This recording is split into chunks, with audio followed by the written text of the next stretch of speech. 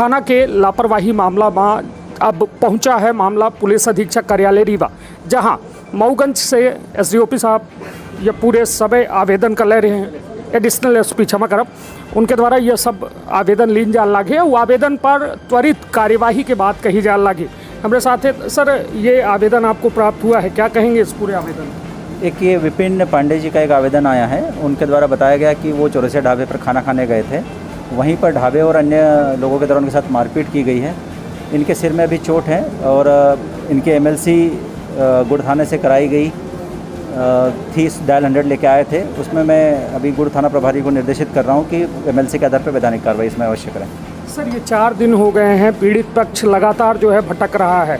FIR दर्ज कराने के लिए पीड़ित पक्ष का आरोप है कि समझौते का दबाव बनाया जा रहा है। चंद्रमणि तिवारी करके उनका ऑडियो भी है उनके पास कि जो कह रहे हैं कि दो चार हज़ार रुपये लेके मामले को खत्म किया जाए। तो क्या कहेंगे सर इस मामले को लेकर? देखिए ऑडियो को अभी मेरे समक्ष नहीं आया है आवेदन आया है। मैं आवेदन पे से ही गुड़ थाना प्रभारी से बात कर रहा हूँ। निश्चित तौर पर हमारे साथ रहे हैं एडिशनल एसपी मऊगंज।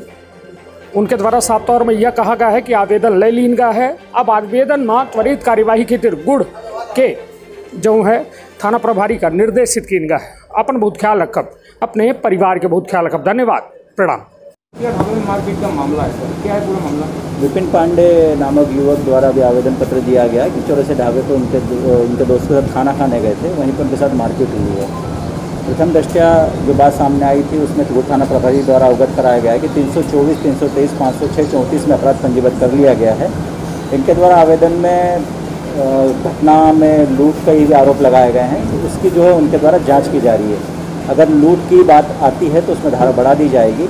और रही बात एफ़ की तो एफ़ भी देने के लिए उनके द्वारा गए थे परंतु प्रार्थी एफआईआर लेने नहीं पहुँचा। अभी वर्तमान में निर्देशित किया गया है प्रार्थी वहाँ जाएँगे तो एफ़ की कॉपी मिल जाएगी। सर गुड़ पुलिस पर भी आरोप लगे कि मामले को दबाने में पर्याप्त एफ़ आई आर पंजीबद्ध मामला दबाने का सवाल ही पैदा नहीं होता। अगर एफ़ आई पंजीबद्ध नहीं होती तो बात समझ में आती जब तीन सौ चौबीस तीन सौ तेईस और चौंतीस में एफ़ पंजीबद्ध है चोट के आधार पर सर वहाँ ही मतलब। थाना प्रभारी के द्वारा बताया जा रहा है कि ये लोग नशे की मात्रा में ये दोनों की रिपोर्ट में हैं वो तो विवेचना का पार्ट है। सर सर में इतनी गहरी चोट है उसके बावजूद भी जो धाराएँ लगाई गई है कोई ऐसी तीन सौ चौबीस सफिशियंट होती है दस सर की चोट जो शार्प है ऑब्जेक्ट है तीन सौ चौबीस इसी में लगती है।